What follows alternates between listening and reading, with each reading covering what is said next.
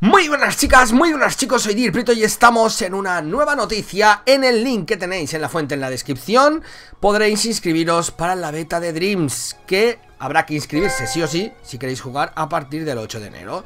Y es que cada día está más cerca la beta abierta de Dreams, el nuevo videojuego de Media Molecule, y es que hoy se ha abierto el proceso de inscripción para poder jugar a su nuevo título, esta misma beta que lleva disponible desde el 19 de diciembre, si no recuerdo mal, pero solo para jugadores muy limitados y exclusivos que se hubieran suscrito al servicio newsletter de la desarrolladora.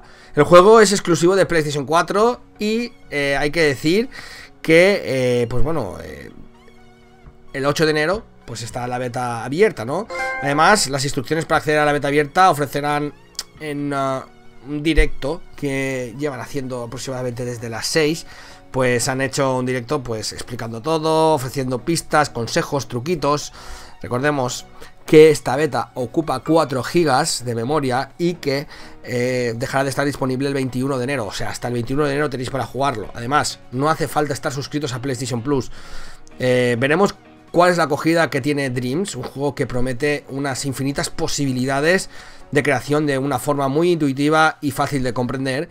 Y ya sabéis, también esperemos que den la fecha de lanzamiento definitiva un título que sigue listado para algún momento de este año 2019, sin duda alguna, esta beta abierta pues va a facilitar mucho saber cómo van los servidores y todo esto.